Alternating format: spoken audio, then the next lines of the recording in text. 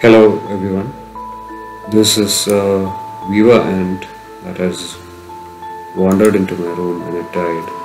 And I'm going to set this in resin. Uh, and for that, I have kind of pinned it in position so that its legs are spread out and not crumpled up as in when it died. So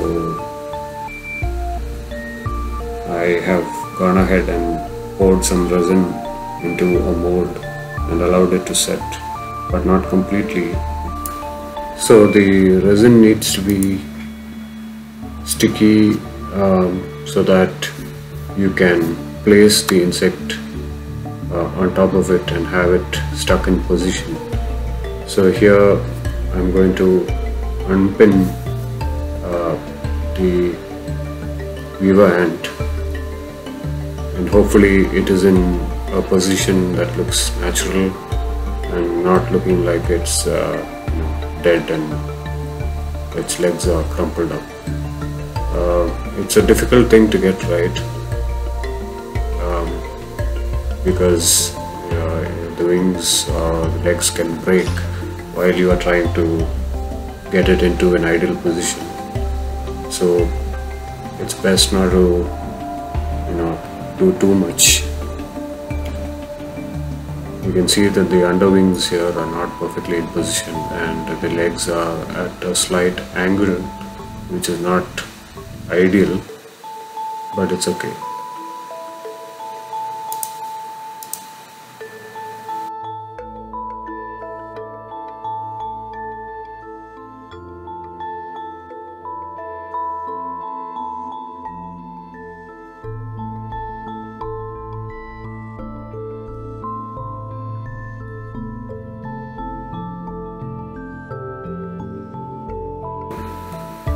This mold that I'm using is just about the right size uh, for this ant.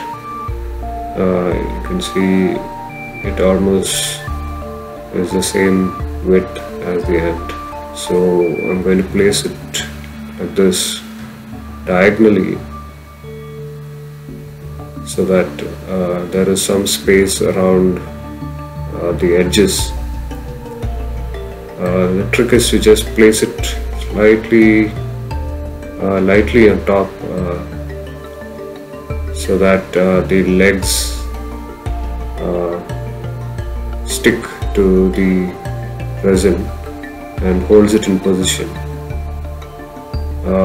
It's important to do this because if you don't have it stuck to the bottom then when you pour the resin on top it will start floating so that's why you need to uh, pour one layer wait for it to harden a bit and then stick the insect on top in, in, in the position that you want it to be in. and here ideally I should have used uh, a mold that is slightly larger I also have here a fly uh, I think it's a it's a hoverfly. This is something else that I found dead uh, under the uh, the night light, and this has come out really nice. Uh, I haven't really changed things uh, around for this uh, hoverfly. the legs are already in a nice position. The wings are spread out, and this one I will put into this smaller mold right in the center and uh, I think this is going to come out really nice because the fly is uh, very ideally posed.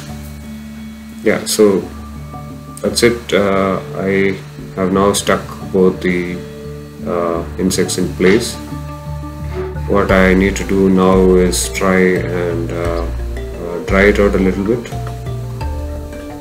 And for that I usually keep these things in a place that's free of dust and I use my camera cabinet, uh, my uh, dry cabinet because uh, one it has no moisture and two it's free of dust um, and it's a safe place where it will not get disturbed so I will keep it in here and come back after a few hours to check on it. It's been a few hours now. Uh, the molds have dried. Uh, you can see here, and I'm now going to try and pour more resin on top of uh, the uh, insect so that I will get a good uh, cover on top and uh, it will be completely embedded. For this I've heated up a little bit of water and I'm mixing my resin and hardener in this. Uh, I've used a silicone cupcake holder uh, uh, because I don't want to buy a separate container for uh, you know just for mixing the resin. And there's already uh, a silicone mold uh, so yeah. Here's the ant. You can see it's set um, yeah uh, heating the resin in hot water while mixing allows the resin to be uh, more liquid uh, and therefore allows the air bubbles to escape uh, so that no air bubbles are trapped. I'll use this toothpick to kind of uh, pour the resin. Uh, important part is not to get any air bubbles stuck under the uh, the insect. Uh, and because of the heat the resin is still uh, liquid enough and hopefully that will not trap too much air bubbles anywhere. And even the air bubbles that come out of the ant uh, you know because air tends to get trapped uh, in the spiracles and so on and uh, they get released when we pour the resin uh, if the resin is thin enough I think it uh, it gives a chance for the air bubbles to come out on top and uh, and escape.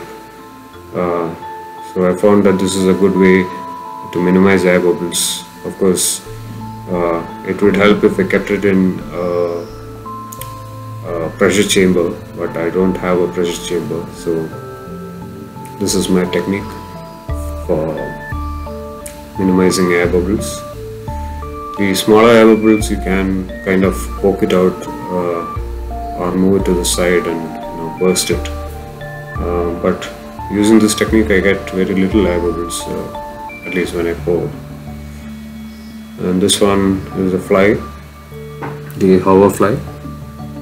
And I need very little resin for this. So I'll just pour this and cover the with uh, resin. Again, I think the fly has come out pretty, pretty neat, and uh, the excess resin I'm pouring back on top of the ant.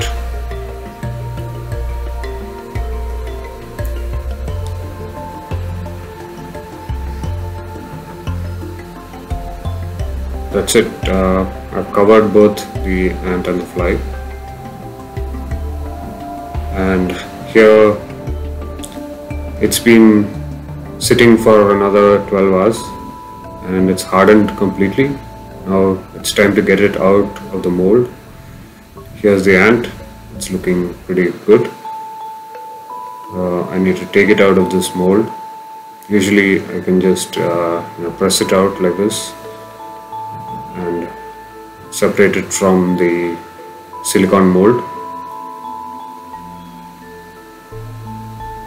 And it seems to have set nicely. You can see here the colors have been preserved quite well. You can see the veins on the wings. And I can see all around. There are a few little air bubbles which if you look very close you can see and uh, the partition between the old and the new resin uh, can be seen slightly but it might uh, set more and disappear after a while. Let's see. The hoverfly has also come out pretty neat I think. Let's see this. Yeah.